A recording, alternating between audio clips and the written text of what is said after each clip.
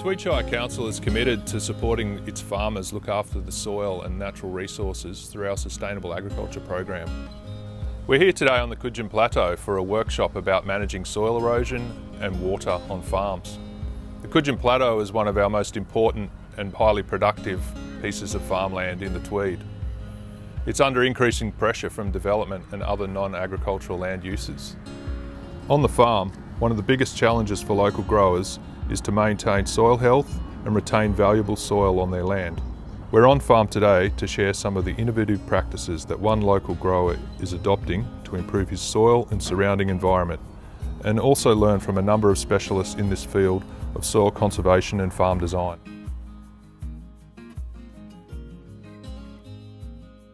Probably been farming here around 12 years now, but I leased it for about six of those years and I purchased the farm in 2014, started 2014. Just growing sweet potatoes mainly, but um, since I've returned the last year or so, I've started to diversify into different crops. Yeah, I guess I was finding with soil loss on the farm, just growing a monocrop sweet potato, um, we, we had to plough the land a lot, and I think when I first started farming, that's the only sort of method that I used was just to plough, plough, plough all the time. Um, and I'd find we'd get a lot of rainstorms here, we'd lose a lot of soil. What was massive for me was when I was travelling, I was a bit I was a bit lost with where I wanted to go with farming. Um, and I come across a guy called Richard Perkins who is who runs uh, regenerative agriculture courses out of his little farm in Sweden. Come across him, he sort of gave me ways of which I could look after the farm environmentally, but also make money out of it.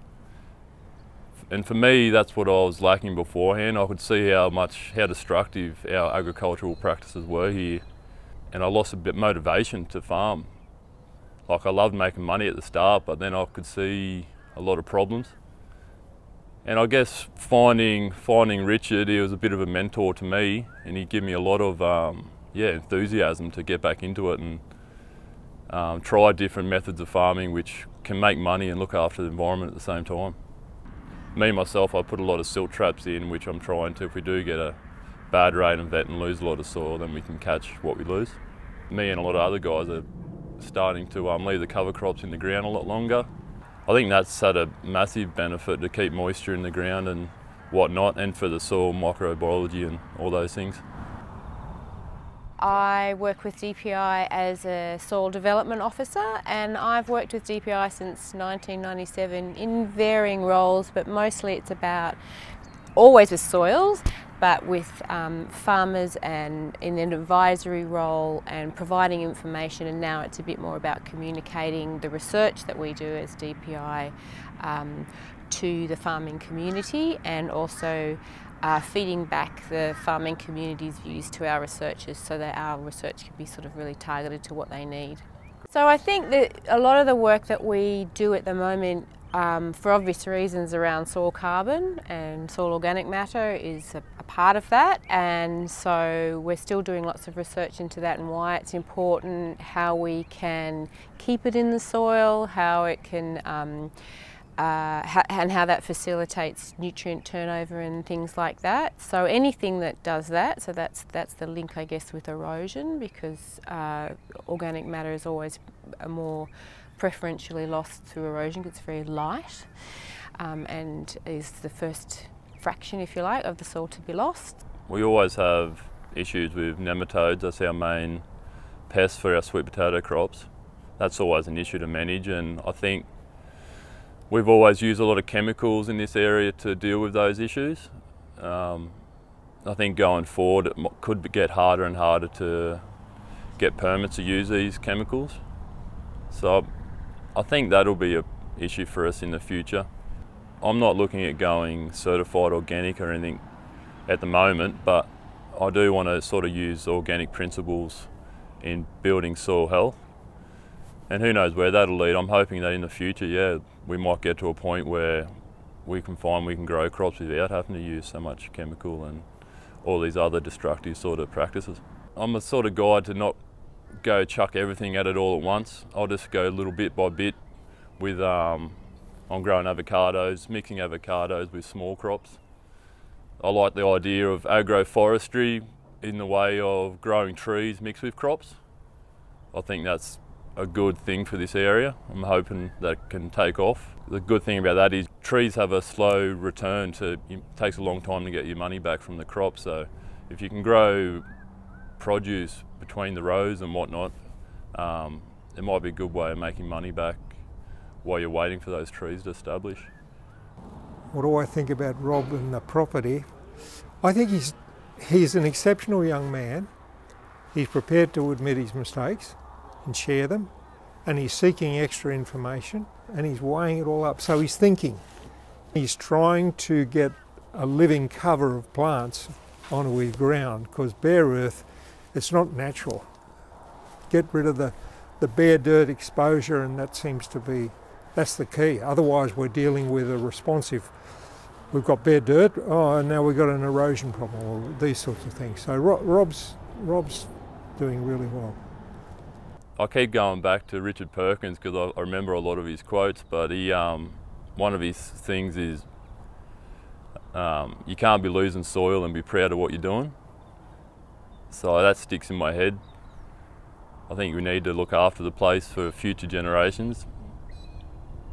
Um, we need to remember that we're growing food for the community. We're not just growing food to make money.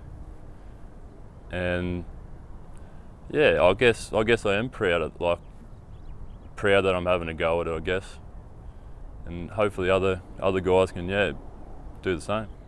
Soils uh, form quite slowly really. Um, lots of the soils in Australia are quite old, although the ones here at Cudgen would be the exception.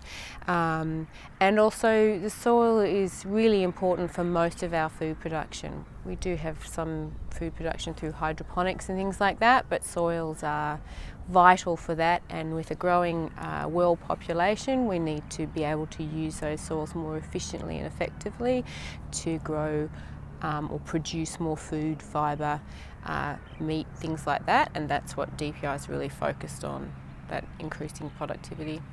The most important thing to, that farmers can do to conserve their soils in, in this sort of uh, cropping area of Cudgen uh, would be about protecting against uh, soil loss, so soil erosion, and th through things like uh, cover crop, um, drainage management plans on farm, uh, managing their water flows. We can't affect how much rain or when it falls and things like that. We can manage the size of the area and therefore the volume of water that sits on that piece of land. So breaking a property into smaller catchments, if you like, I think is a really uh, good thing to think about. So it looks like Rob's trying to do that and he also it also looks like he's put in sort of barriers to to slow the rain or the runoff, which I think is another thing that's a you know a good um, good thing to think about. In terms of the most important aspects of keyline, the thing that my father discovered and named the keyline scale of relative permanence in things agricultural, or in short, the keyline scale of permanence, that set a, a planning priority based on if we get the most important things, the things that last longer, or the things that we can't do much about, sorted first.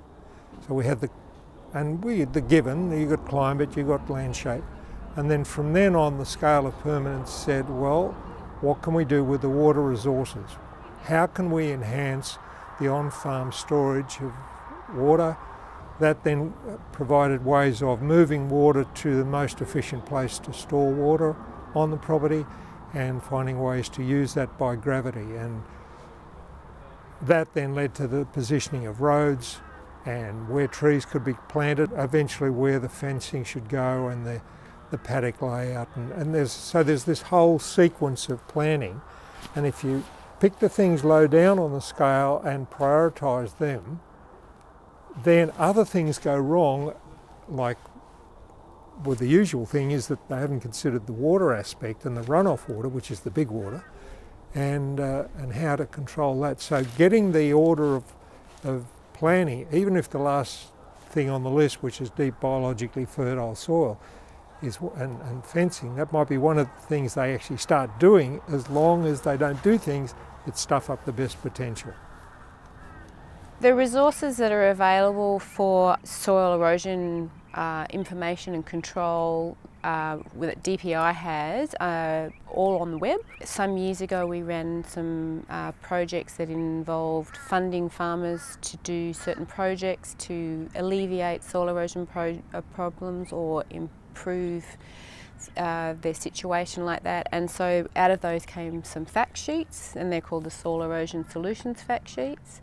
There's a large manual that was produced called Saving Soil which runs farmers through you know what kind of graded banks they need, you know, quite technical stuff around what the grade of that should be, um, how to construct farm roads and tracks effectively so that they don't erode, things like that. So they're really good um, pointers for a start. I think I wouldn't expect anyone that's got um, a massive debt and a family to feed to go out and do all these things I'm doing. But um, I'm hoping I can prove that it is economically viable and hopefully encourage other people to do this.